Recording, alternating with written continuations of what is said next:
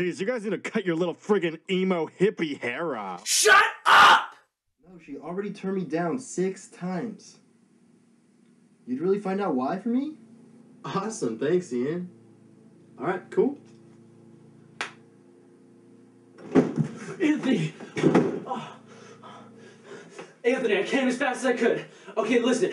I hid in Emily's tree and overheard her saying why she won't date you. Well, what is it? Tell me. You know how she said that you're too scrawny or too stupid or too weak? All right, I get it. What You know- about it? Oh, you remember that one time when she said that your breath smelled like a rotting animal carcass? Oh, and then there's that time when she said your nipples All look like. right.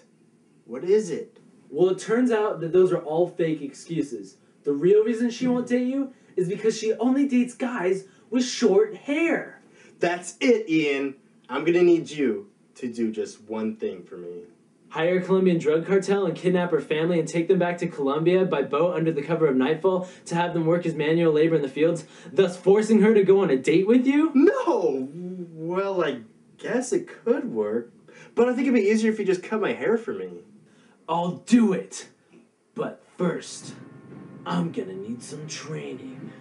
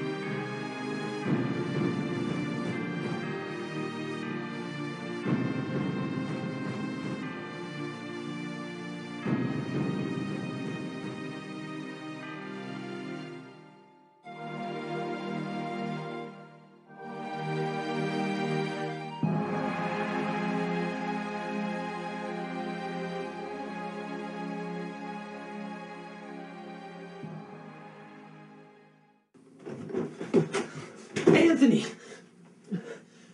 I'm ready. Let's do it.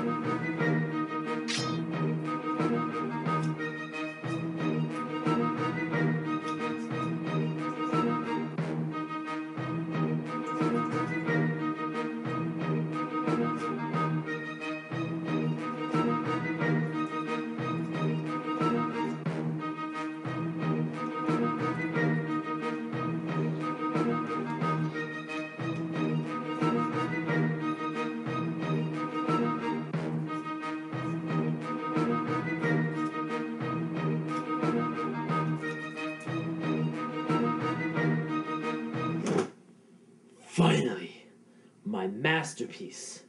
is complete. Behold. It's. It's just, it's just, what? What? Did I do something wrong? Did I mess up your little haircut? No, no, no. It's just, it's just that it's so beautiful. Ian, Ian, I need, I need you to do just one last thing for me. Anything. Hello? Hey, it's Ian. My friend Anthony wanted to ask you a question. Sir, the reason we called is that I want to ask for permission to date your daughter. You do know that she got married two years ago, right?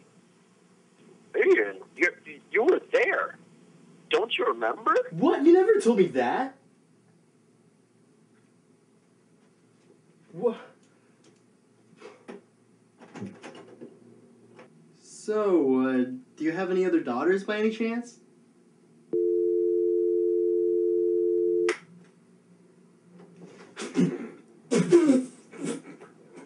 what? I just had to look at your short hair again.